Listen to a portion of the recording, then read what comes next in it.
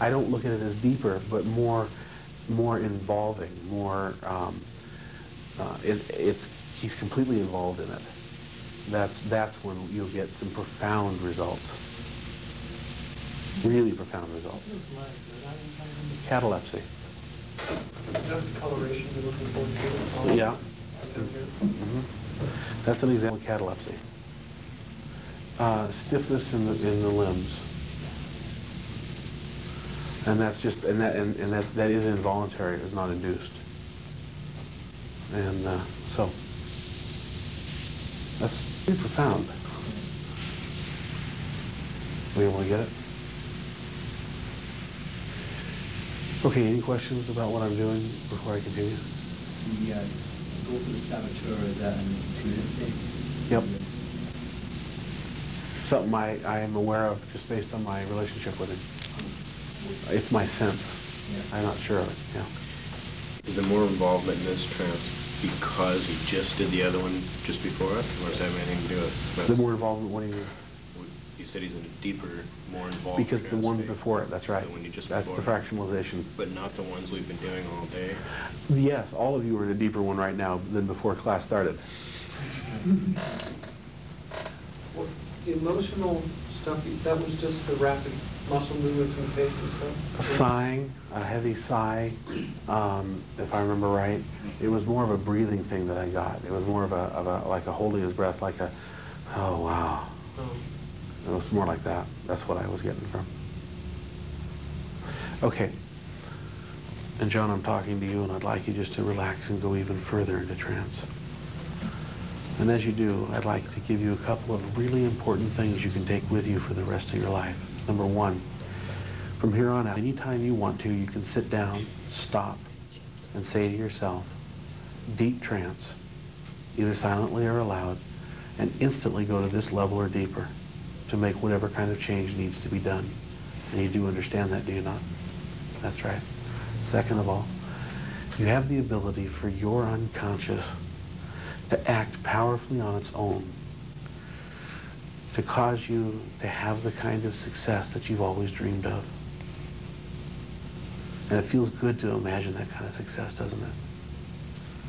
And you know that success takes hard work.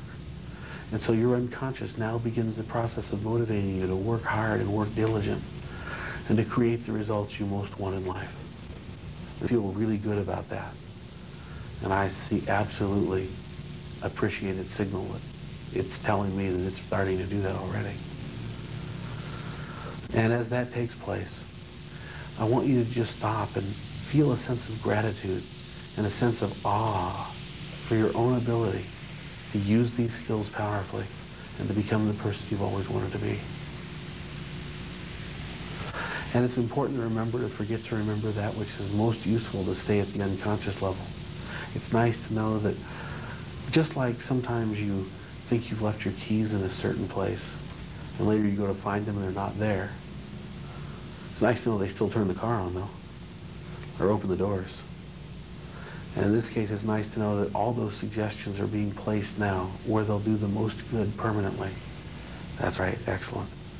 And as that takes place, you find yourself recalling all kinds of other dreams and images and thoughts from the past or the future or the present. Images and thoughts that you'll gladly share. Yet leaving the balance of this work at the unconscious and letting it be, make the decision as to what stays there and what it gives to your conscious mind so that as time goes and it presents more and more of the session to your conscious mind, you can be thrilled and amazed at all the kinds of things that you're able to do as a result of this. It will continue to surprise you over time, and that's an incredible feeling. And so now, you know when you're laying in bed in the morning and you know it's about time to get up, but you still haven't heard the alarm clock? And then sure enough, there it is, ringing right alongside you and you realize it's time to get up? well, I think it's time to come on back here and bring back with you some really pleasant and happy thought. Maybe something that's very personal. Maybe something that you're not going to tell us, but you'll just think about and be happy about. Yeah, one like that. Because you come all the way back now. Just enjoy coming back here and feeling the support of all the friends around you and the good feelings of having made some serious changes. And come on back.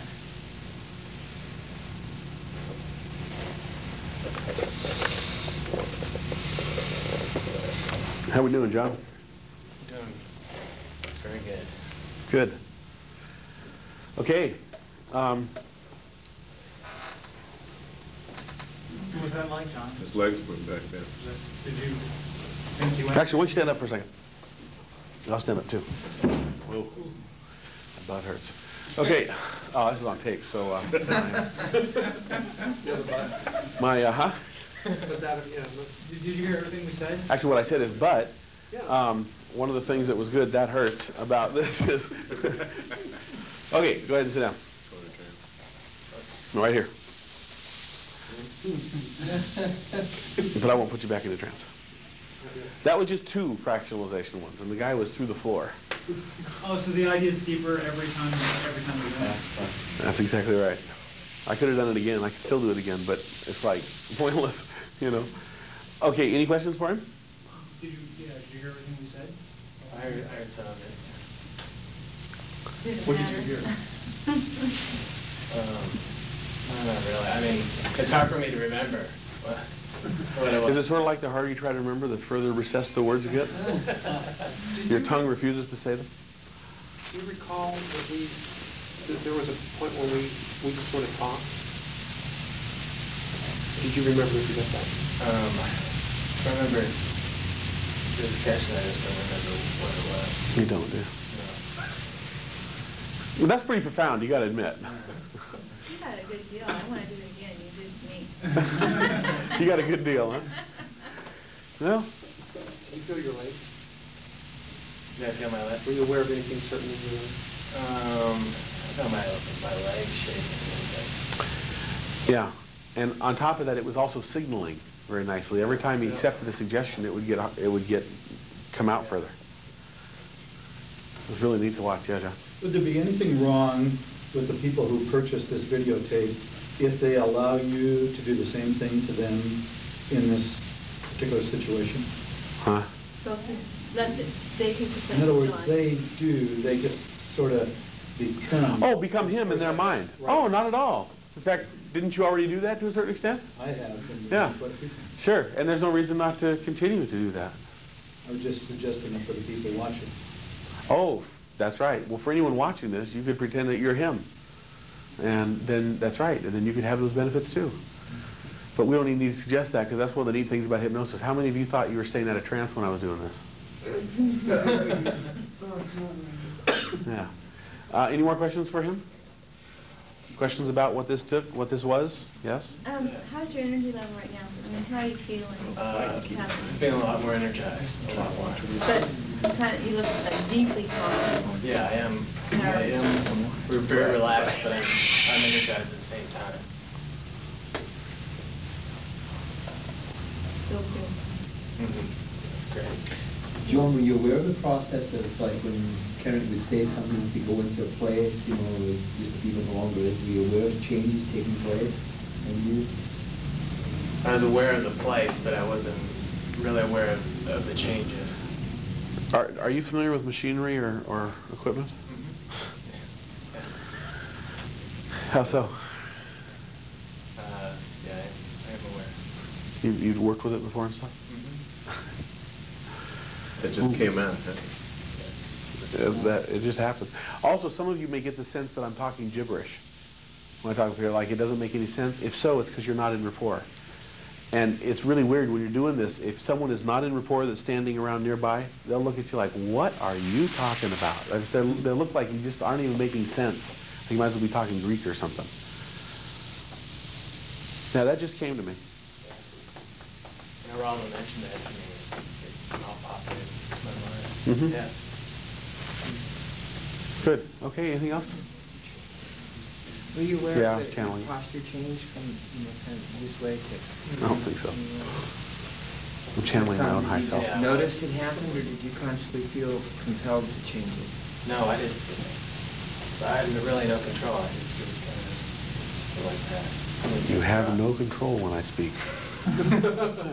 Yeah, I like that. What we were just talking about, when you told us to be quiet, was that we were both noticing we're fighting to keep our eyes open because we wanted to watch what you were doing, but we also wanted to go along with it at the same That's time. the dilemma. I know, it is a big dilemma. That's why we have the tapes available. Okay, give him a good hand for being up there. Thanks. Okay, you ready to do it? What what were you doing, by the way? What? You did so much just then, I remember where you started. Yeah, I did. That one I kind of let loose on, so. Could you give uh, us a breakdown at all of some of the things you used in that? Direction. Yes, I think so. I mean, that'd be really valuable. Um, I'm gonna have to watch the video to give you much of a one, I think, but, because that one was, that one was out there, man. Yeah. Um, I, I mean, I was gone. Well, the I- crystal ball was Yeah. pretty, pretty tricky. uh, Yeah. Triple, quadruple disassociation. Yeah. Yeah, and then the suggestion of, and he can go faster than all of them. Yeah. Yeah. Well, you're going into an altered state Oh, yourself. profound. If you're not, when you're doing hypnosis, you're not doing good hypnosis. The hypnotist will go out practically as far as the subject does. Isn't that a good way to learn your intimate?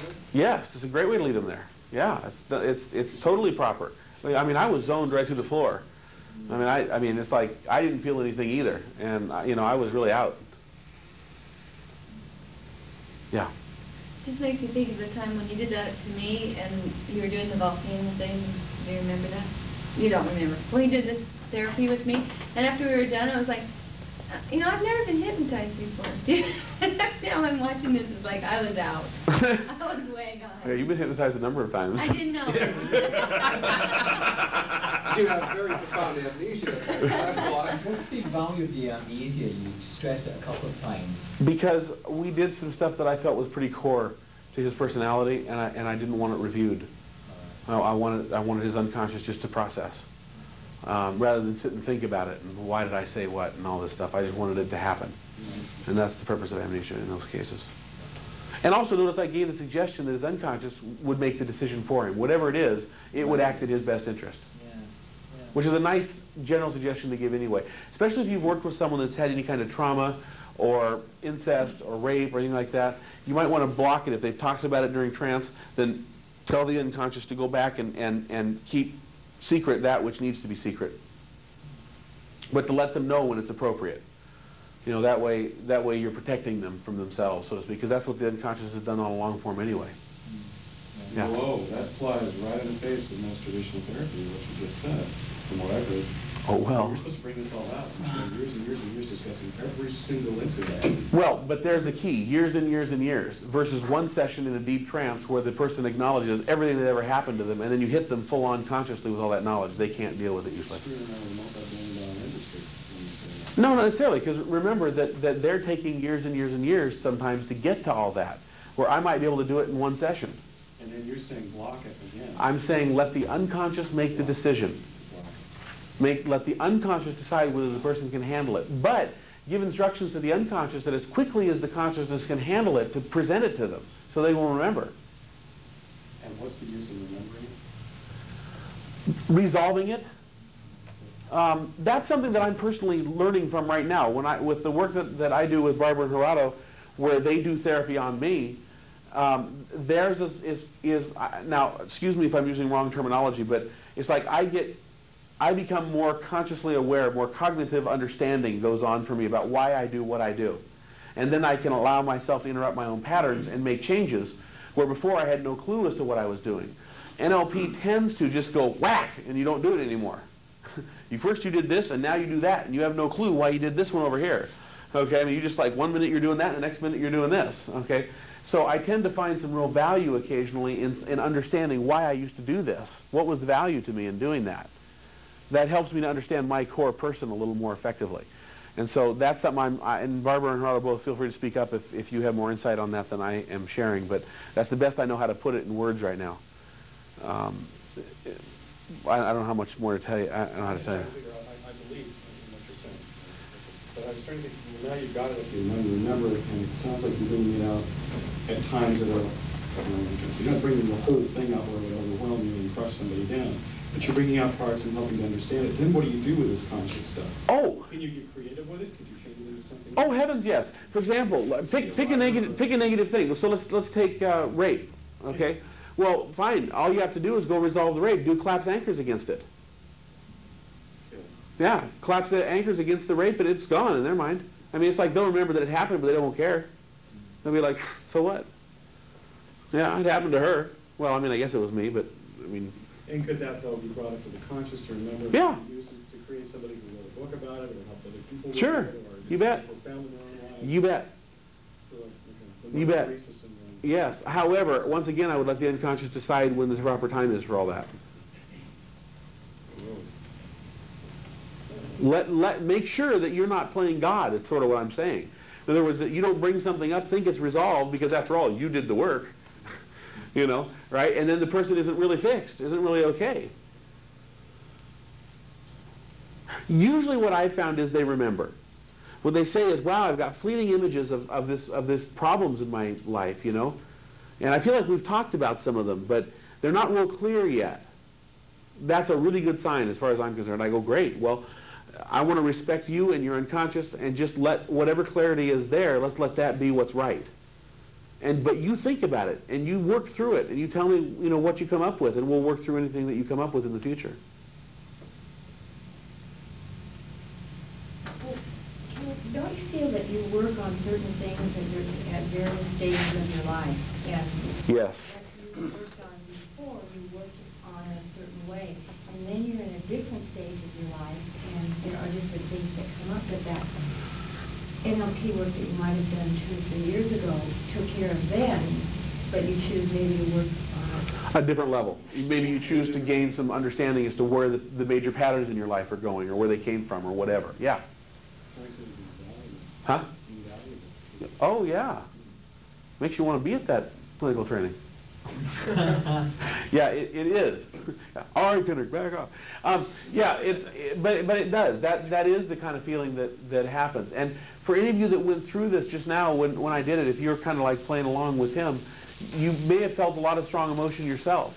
You, know, you may have felt like, wow, something's really changing inside me, or something's really moving now, and I, I can make some real progress, or something like that. And that's probably how you felt, isn't it? Mm-hmm. Yeah. How do I know that? Because I felt it. Yeah. Breakdown of the strategies. Basically what I did, I induced trance by recalling other times of trance. I used massive presuppositions to get them into trance. Once he was there, I told him he could go deeper the next time, anytime he wanted to. In fact, now all he has to do is say deep trance in his mind and he can go there. Have you tried that yet? Huh? You just tried it. Did it work? You felt yourself slipping away? Good, okay.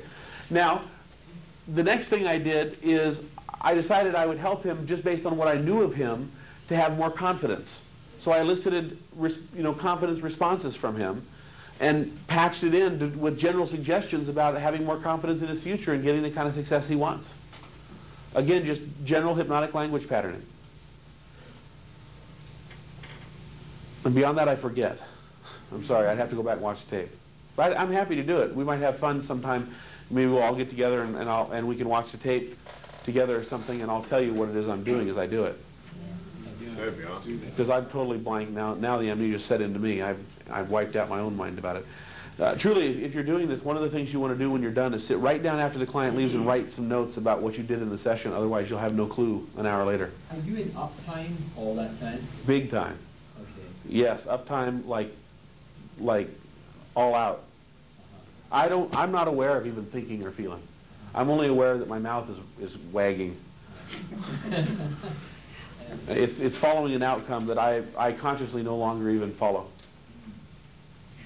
Is the ratification another way of doing the five, four, three, two, one? No. pace and lead? No, the ratification is designed to make the person realize, oh, I'm in a trance. Oh, this is a time when something special can happen. This is a time when I can really uh, get some change to happen in my life. Because it seemed like you went through, your colors changed, your voices changed, your breathing's changed, and you're It going. it may have that effect too. Yeah, it may have an overlap effect too. Do you remember me doing that to you? um, telling you that at this point, in the first trance, your breathing has changed and your face coloration has changed and it's become more relaxed. And remember that? Yeah. What was your feeling? What was your What were you thinking when I was saying that? When you said that exactly, my, uh, it started loosening up and I became more relaxed. Yeah. Okay. All right. Do you folks need a break? Or are you ready to do it? Need a break. All right. Let's take a few minutes to kind of come back out of trance, and then I'll have you do it. Okay? Is the demonstrations helping you, or, or would you like me to cut back on them? Guys, let's do this last example, and I think we'll call it a night. Um, I want you to have practice doing it. Um, I applaud your ability to stay conscious, alert, and awake during this training. Um, it, it, I- it- well, or thereabouts. Yeah. Um, what I will tell you is that when you're done and you walk outside and, and you get ready to, to do whatever you do tonight, you'll find boundless energy coming to you from spending hours and hours in trance today. And that will feel very nice, I might add. So um, you can look forward to having that fun experience and, and refresh yourself. Um, okay, so what I want you to do now is to get into groups of two quickly. Different groups than you normally would. For example, Gerardo and Barbara don't work together. Um, and uh, find yourself in a new group of two. And I'll tell you what to do here in a second. Oh, we're done here. My own dad. George's chair?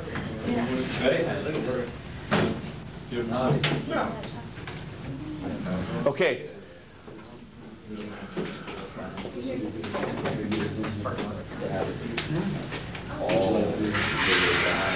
Here's what I want you to do.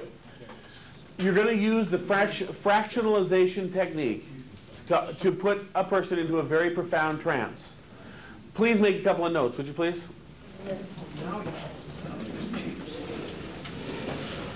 Sorry, Randall. That was dumb of me.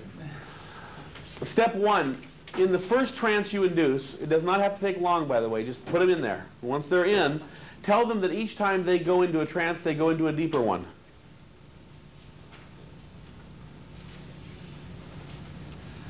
Okay?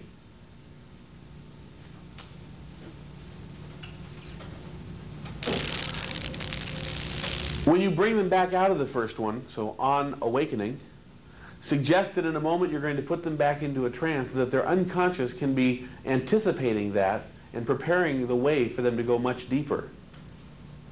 What language? Can you say that again? Yeah. In a moment, I'm going to bring you out of trance. In a moment, I'm going to bring you out of trance. And I'm going to put you right back in in a few minutes after that. And your unconscious can begin now to prepare the way to take you even deeper when I do ask you to go back in. Something like that. You know, you don't have to use exact words.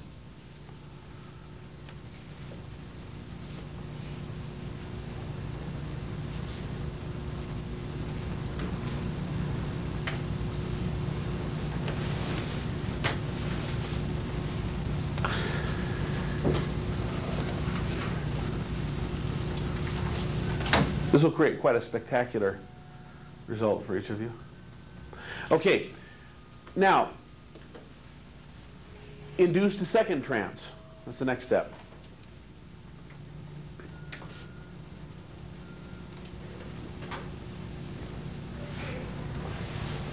In the second trance, what I'd like you to do is,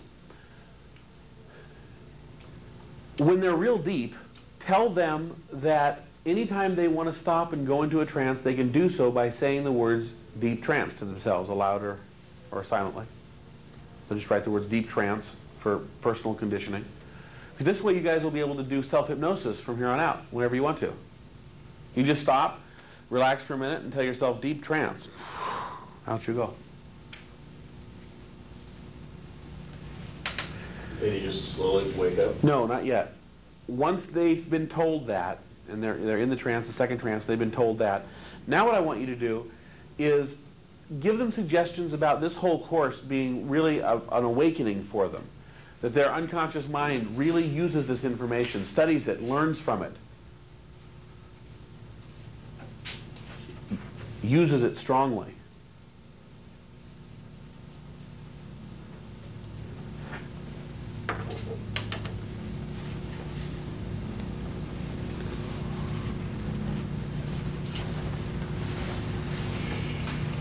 Okay. And what else? Anything else? Oh, and then anything else that you might want to just, oh, oh, oh, that, I'm, I'm sorry, write the word magic. What I want you to do is tell them that, look, they've been responsible for creating a lot of results in their life. So why not let the unconscious go ahead and create positive magic in their life right now and give them everything they've been dreaming of having right this minute. Make it available to them right now. Give the unconscious permission to go out and create whatever it needs or wants for them, as long as it's positive. Then give them suggestions to have lots of energy tonight and good feelings, happiness, and bring them back. I think you can do all that in 10 minutes. Each? Yeah. Which is about how much time we have left after I give a few closing remarks. So why don't you, um, we'll do that, uh, a little bit of a, just a quick breather when you're done. I'll signal you when 10 minutes is up. Actually, I'll tell you when 5 is up and then 10 is up so that you'll know. So you can kind of plan your time accordingly. And then uh, really hang in there with your partner because this is a real profound thing you're leaving them with, okay? All right, please begin. You have 10 minutes from right now for the, to complete the first Any one. particular way we should induce it? Doesn't matter how you induce the trance, any old way you want.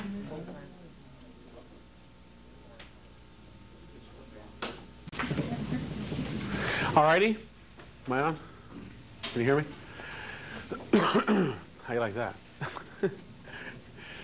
How'd this work? Let's have some feedback. Can you all talk? Do you have any mouths left? Well, see, I'm trying to explain the experience. so- I'm sorry, what'd you ask? What did you notice from this? What, what was different or unique about doing it when, you, when you're doing two inductions right in a row like that? Deeper. Go a lot deeper? What else? Quicker? Quicker? What else? I think the second time around, you're not as aware of the surrounding sounds. Yep, that, that's typically true. It's typically true. Um, did you get really good suggestions put in, like about the ability to say deep trance whenever you want to and go into a trance and all that kind of stuff? Practice with that. Practice makes it stronger, okay? You'll love it. It's really fun. That's right. I had a deeper, I mean, a harder time trying to do self-hypnosis when I was that deep on the second time around. Yeah, because your mind goes blank. I mean, you, you know, you have little consciousness left. yeah, I know. Um, which, by the way, that's the good and the bad of self-hypnosis. Self-hypnosis means you're not deep enough that you can really power in a suggestion. But by the same token, at least you can do something on your own, and that's great. So, It would be a good idea maybe to put your messages on a tape, if you go that deep. yeah. That. Oh, yeah. Let it just zone. Play the subliminals that you have of mine. Trust yourself. Yeah. Play Play, subliminals while you're in trance? play the ones I have. Yeah. Yeah, those are powerful ones these days. Yeah. And just let them go over and over and over. Those are really not sounds there. Right. I'm starting to hear them. Right, yeah. Okay, hopefully we will have accomplished a couple of things that we set out to today. Do you notice how your sensory acuity is higher for normal speaking? Okay, that should be significantly different now, okay? Second of all, you can now go out and do this. You actually are able to do more sophisticated trance and trance work than people that have been training for years in traditional hypnosis by state-run schools type things. I mean, you'd blow someone away. A hypnotist would be blown away to hear you come in, and without saying the word um, uh, counting or hypnosis, to put knock someone straight out in, in two or three minutes. They'd be going, "How did you do that? You know, what's the secret?" You tell them there is a secret, all right, if they got enough to teach them. Um, the odds are they can't afford you. Um, that's right, and I get my 25% share, and we're all happy, yeah. Um, but, I mean, so please feel free now. This is a thing where, uh, for future practice between now and the next full day training, let me suggest what you practice on, okay? Practice on becoming fluid with your suggestions. Practice on becoming fluid with your suggestions so that you can just speak about any subject for a significant period of time without other things to say. You're just rephrasing and, and rethinking through the process over and over. Also, learn to speak in terms of sentence fragments and the realization that naturally occurs and growing understanding, all of which enable us, really drive us into new areas of expertise, training, and results in our lives. We'll take a back seat to something as powerful as our ability to study and learn these communication skills. See what I'm doing? Those massive sentence fragments. I never said one whole sentence, you know, at once, with a noun, a predicate, and a, you know, it's like I just went, I just was using sentence fragments. And that new understanding, very good, that really comes along when it's necessary. And the fragments just promote the trance? Oh, big time, because it's like, when it's necessary for whom? For what? When? Yeah, there, it's, it's impossible to interpret totally, but when you string them together, it, we hanging in there? You zoning out again? yeah. Um, you can see the camera go, yeah. Oh, what, what, what, so, um, thanks to our cameraman, Bruce. We'll give him a big round of applause here for helping us. Bruce on the camera so they know who he is, and can you come around and say hello? Oh, yeah, you want to come say hello on this side of the camera? Come on this side. Yeah. Come on this side so you're in Let's put it in. Put him in a deep trance and make him forget that he did. But make sure and put your clothes, you got all your clothes back on? Hi. That's mean. Um, okay, so those are the things to practice between now and next time. Some more homework between now and next time. Not next Wednesday, but next class. Induce trance in at least five people. Actually do something to help them. You should daily practice your own self-hypnosis by going into the state yourself.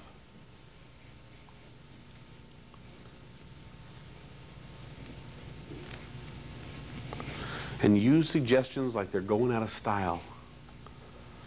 Link them more and more together. Say them with greater strength and authority.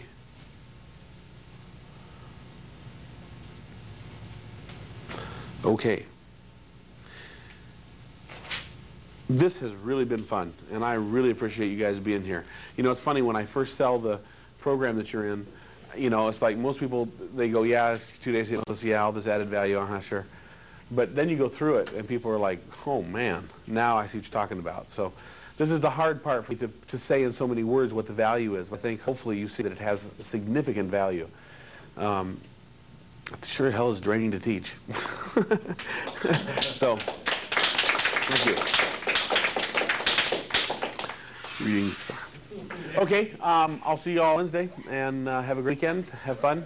The, uh, the video, how to get it and when? Uh, I will know more after um, Bruce and I sit down and talk. But very shortly. Very shortly. I mean, we're not going to take any time getting this out because we'd like you to make have it.